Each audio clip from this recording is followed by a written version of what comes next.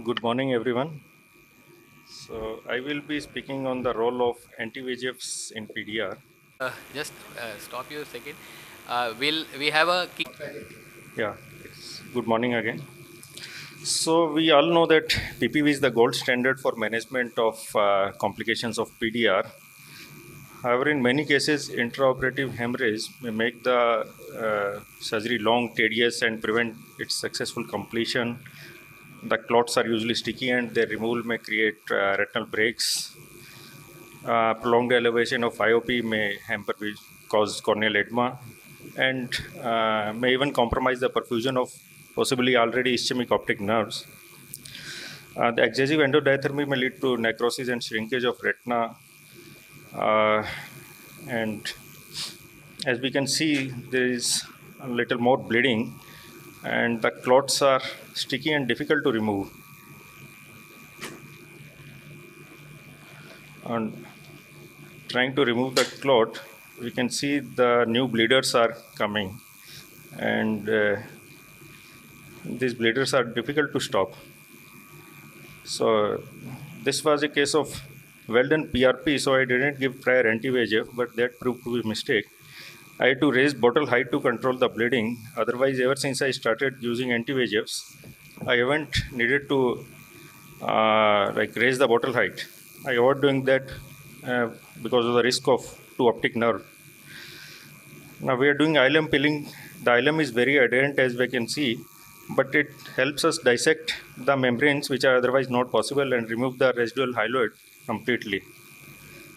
You can see we have done almost uh, peeled the almost all the ILM and it's better controlled now. Sorry, I think. Still, uh, we can see nasally a residual membrane is still present, probably left behind the uh, residual clot where ILM maybe wasn't removed. So, uh, any method that can induce regression of neovascularization, reducing intraoperative hemorrhage, uh, may facilitate an easier vitreoretinal surgery. And we all know that regression of neovascularization can be achieved by anti-VEGFs. So, intravitreal pre-op anti-VEGFs uh, uh, have become a popular adjunct and supported by various studies as described below. Uh, how does it help? So it helps by reducing intraoperative bleeding during dissections and segmentation delamination, thereby allowing better visibility, easier dissections, reduced clot formations, and all these uh, help uh, uh, like reduce the risk of retinal tears, uh, thus reducing the need of silicone oil tamponade, recurrent surgeries, etc. The reduced need of diathermy reduces the cost of retinal ischemia and scarring, and smoother surgery leads to less inflammation and better BCVA. We can see the bleeding is very well controlled, it's negligible.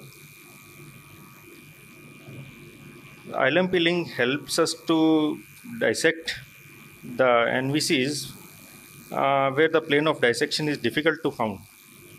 We can see the and uh, this NVE was left behind, but uh, with ILM peeling, it's it has been isolated. We also advocate ILM peeling in uh, cases of NVEs which are within or uh, near the arcades. Uh, as first, it helps reduce traction on macula, and it also uh, prevents development of future ERMs.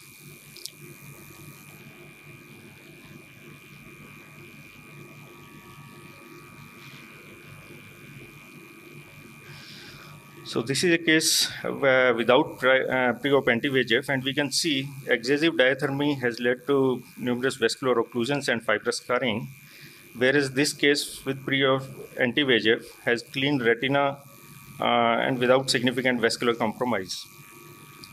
So before, before discussing the timing, we need to know about anti-VEGF crunch syndrome. It's the development or progression of TRD following intravitreal anti-VEGF in an eye with PDR typically manifests sudden uh, with uh, sudden loss of vision about 3 to 31 days following anti-VEGF injection.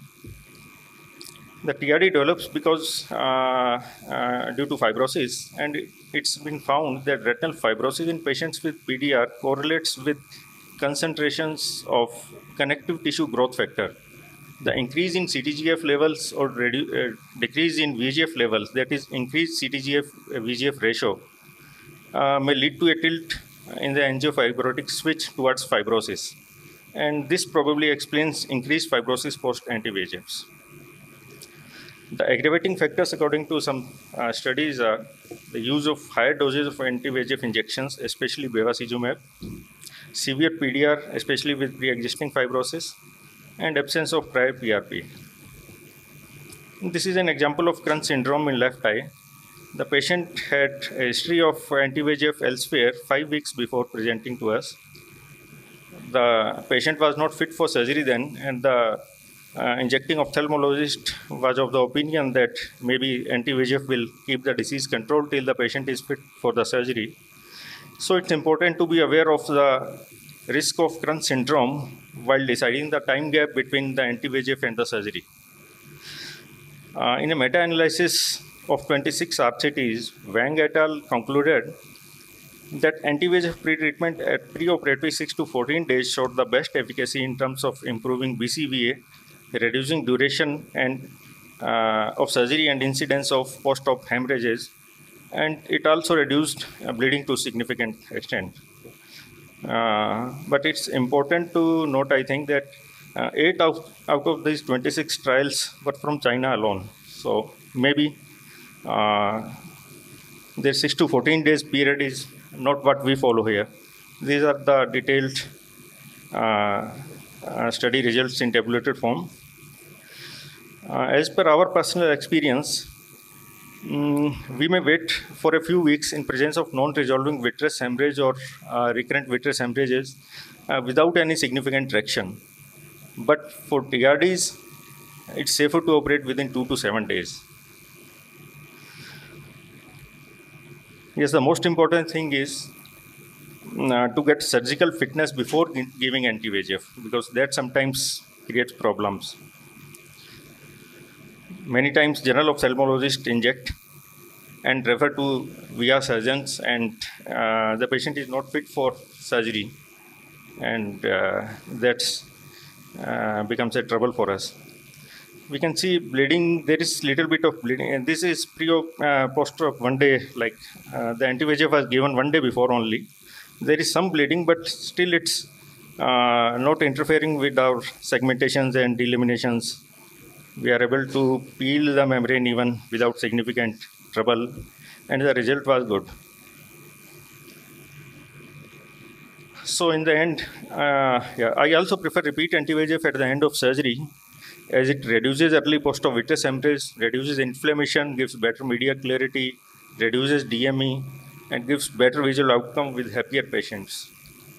So, uh, thanks. Thank you, Dr. Ajay. Excellent. Extensively covered all relevant points uh, related to pre-operative anti-VEGFs.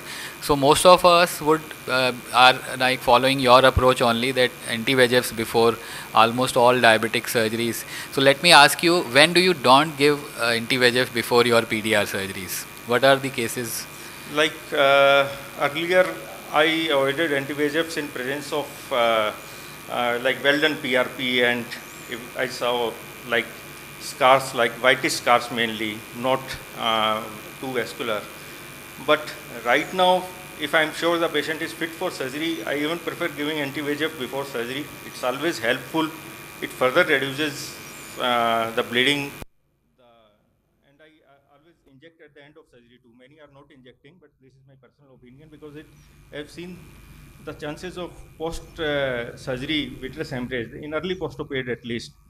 Like sometimes we see the media is not clear for some days uh, after surgery and uh, rarely I uh, like I had to go in again and like inject silicone oil when I didn't inject anti-VEGF at the end. So these cases have reduced significantly in my practice, like negligible. Okay. In last uh, five to seven years, I uh, like injected silicone oil in only one patient of Great. PDR. Thank you. So that's maybe I am dealing with less complex cases, but yeah, still. Yeah, uh, Dr. Reddy, your experience uh, like uh, on this, uh, uh, do you still go ahead and inject uh, uh, pre-operative anti-VEGF if uh, you see a regress retinopathy and you are, or like you choose your cases?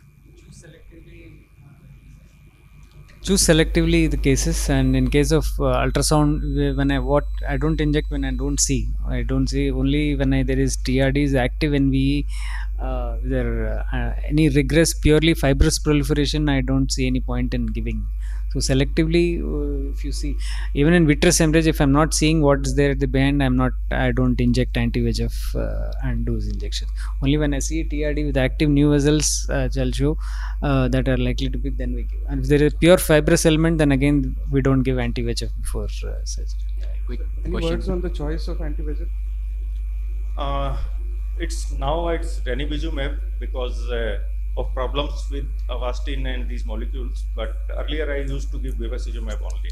Pre-op, uh, that's 1.25 mg, and intra-op I give uh, used to give double the dose, uh, like at the end of surgery, because of early washout.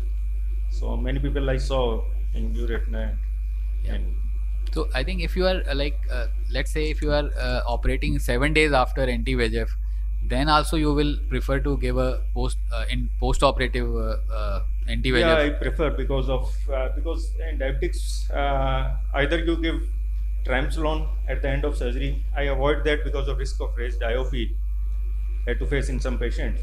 So I prefer giving anti repeat anti VEGF only. Okay, fine, great.